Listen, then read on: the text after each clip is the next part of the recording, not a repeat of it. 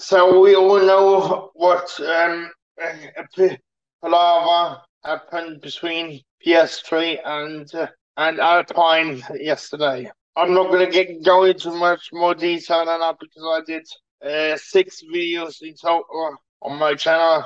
Three of them were shorts, and the other three were um, full videos. Um, so have a look um, if you haven't seen them yet. But what I want to cover in this video is an idea I've come across, and it seems to be a reason a reasonable idea given that um, Planet F1 have issued a uh, have published a um, article about the same possibility. So let's suppose suppose this: Piastri goes to McLaren and takes Daniel Ricciardo's seat, and then Daniel Ricciardo goes back to Alpine. I think that is a real possibility because um, Otmar Szafnauer has already said that he didn't burn any bridges with the team when he left the team when it was uh, Renault to go to Mac-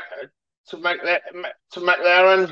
Um, and I think that would be the most logical step for all the people involved because the last thing that I want want to see would be for the whole situation to end up in court.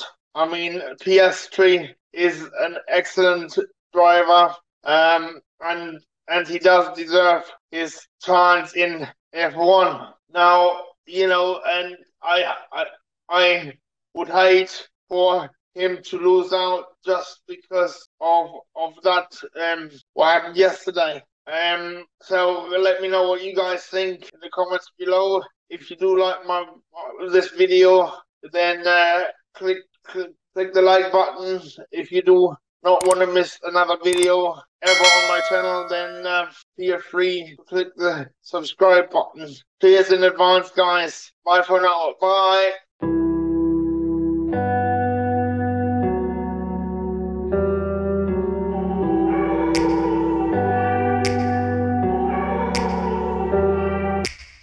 Take me back to a place where I felt at home. Take me back to a day when we weren't alone. Take me back to an age when